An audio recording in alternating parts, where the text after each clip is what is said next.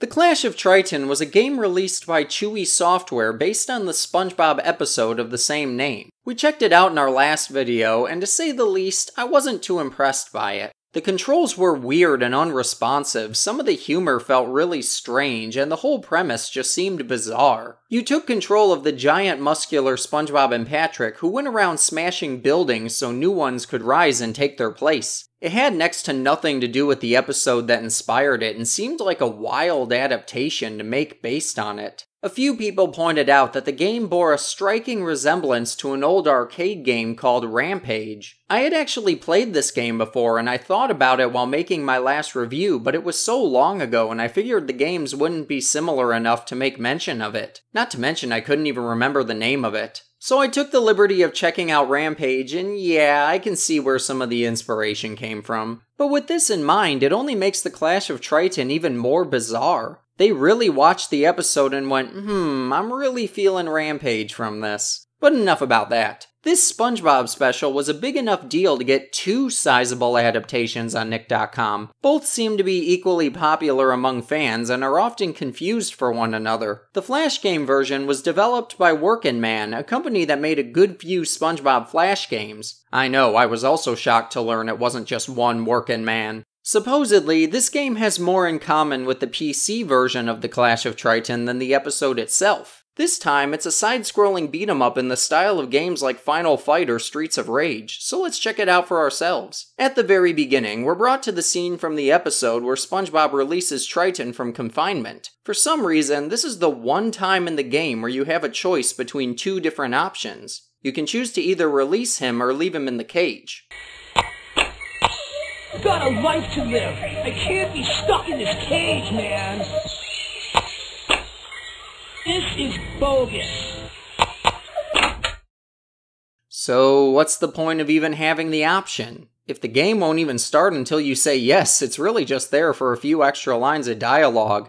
Not really necessary. So once you say yes, we're treated to a crispy scene from the episode itself. Triton destroys everything, and then we enter the Bikini Bottom stage. King Neptune doesn't really seem to care that you're the one responsible for this, and he bestows superpowers on you so you can save the city from his son and the idiots who decided to become loyal to him. Seriously, he's trying to destroy you. Why are you working for him? This says a lot about our society. SpongeBob takes on his design from the Neptune Spatula episode, which makes for a nice callback. The game is similar to the other Clash of Triton game in that you have to fight through the city with superpowers, but it's completely different in terms of style. It's a final fight inspired beat 'em up where you fight Triton's minions and walk through a screen that moves to the side once all the on screen enemies are cleared. Right off the bat, I gotta say this is more what I expected from a Clash of Triton game than what the PC version gave us. You actually go out to fight Triton and his minions rather than smash buildings for some reason. At first, you just smash the spacebar to defeat enemies with your magic spatula. You even have soldiers in spongy armor that fight with you. Also, the music really sets the mood.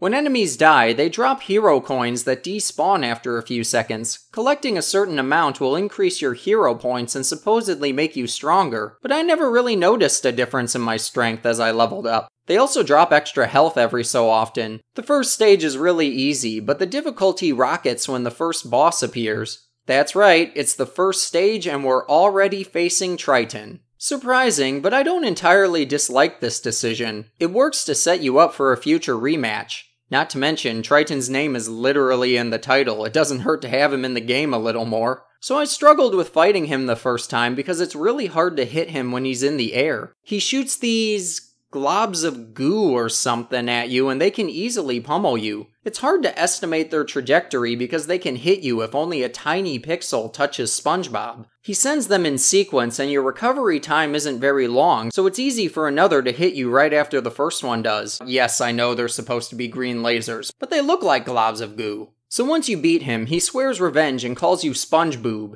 Considering your design, that's a very appropriate nickname. You're given a relic for completing the stage, which gives you a new ability. Then you're brought to a menu where you can select a stage or solve this puzzle. Why is Patrick looking at me like that? What's going on in his mind? If you click on him, he solves the puzzle for you, so thanks, I guess. You get a relic for completing it. or having Patrick complete it for you. The next stage is Sandy's Tree Dome, where the enemies are slightly different. The music is awesome here.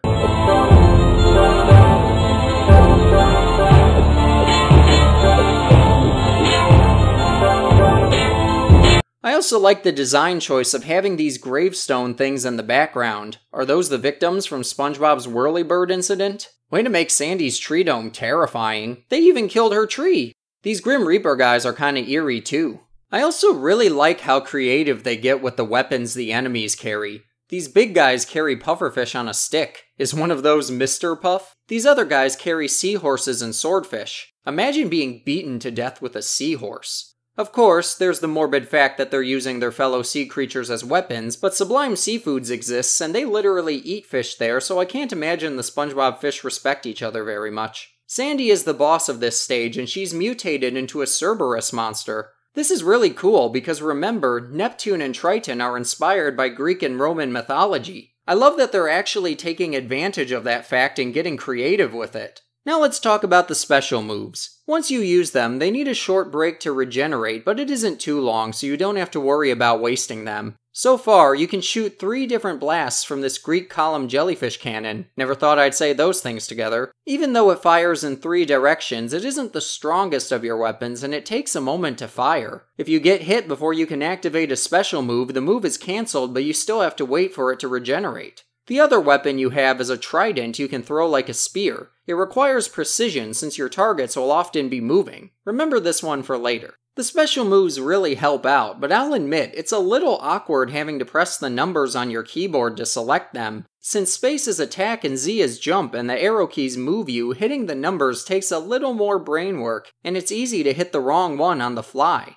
You know what this means. You'd better go out and buy SpongeBob Teaches Typing so you can learn proper keyboard etiquette. After winning this wild and exciting game, you can hit every button on your keyboard at lightning speed without any trouble. Order SpongeBob Teaches Typing today, only $19.99 plus shipping and handling. Keyboard sold separately. And no, it's not called SpongeBob SquarePants Typing, you've been lied to.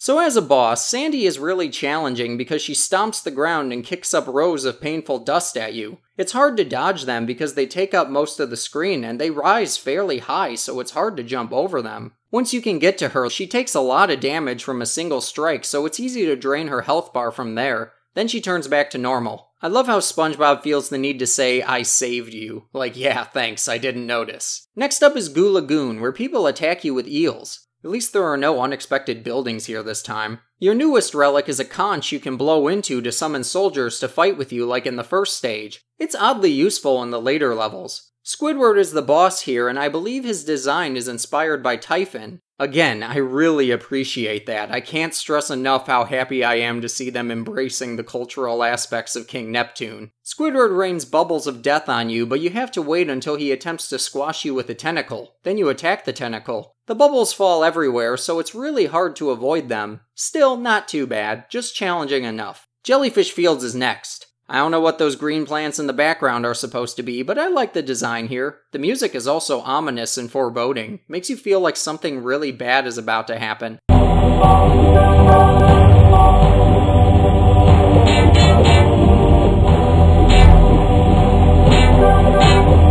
Your newest ability is a shield, which I rarely use intentionally, always when I accidentally hit the 3 button instead of 2 or 4. Looks like I need to freshen up my typing skills with SpongeBob Teaches Ty- Okay, enough of that. These big enemies with hammerhead sharks act as mini bosses, and they're kinda cool. Super easy though. I've gotten really good at mashing buttons from all the Nick Arcade games I've played. You then meet Patrick, who's turned into a satyr. I love that even though he's a mutated monster, he still has his usual personality and only acts mean because he's supposed to. He's really easy, he just charges at you with normal enemies backing him up and you just hit him when he has an opening. Then he makes that face again. The next stage is Bikini Bottom all over again. At first, I thought I clicked on the wrong level, but even SpongeBob acknowledges how strange it is to be back in the opening cutscene. Your newest weapon is Thor's hammer, I mean Neptune's storm hammer, and it delivers a super powerful blow whenever it's used. It's easy to predict that Mr. Krabs will be the next boss fight too. Kind of a shame they reused an earlier stage for no big reason, but at least the music is still good.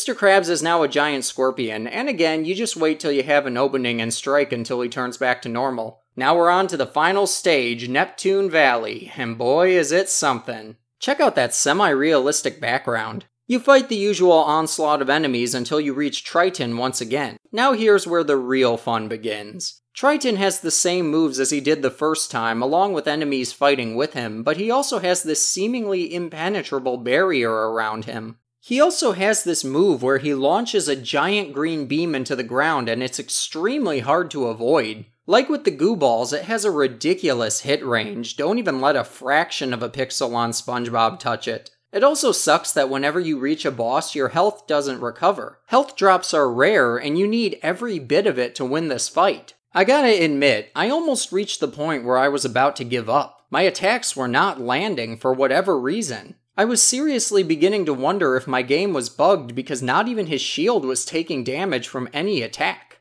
That was when I learned you can throw your trident at him at just the right angle to take down his shield. Then you can finally attack him. Yeah, thanks, that was real obvious. They couldn't have included a hint somewhere that said only a strike from the spear of Neptune can fall the great Triton or something like that. That would have been really clever and I'd gladly commend them for it. I wouldn't mind having to strategize to win a fight, but the way the game is set up doesn't comfortably allow for trial and error. You have to do the entire stage all over again if you die, so it quickly becomes long and frustrating to figure out. But I will admit, it's satisfying when you win. Now let's watch the final cutscene.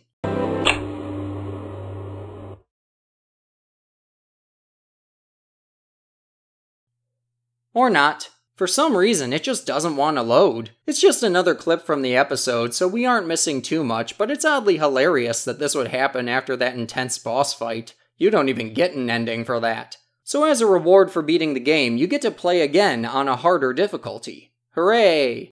And that brings us to the end of the other Clash of Triton game. So what do we think about this one?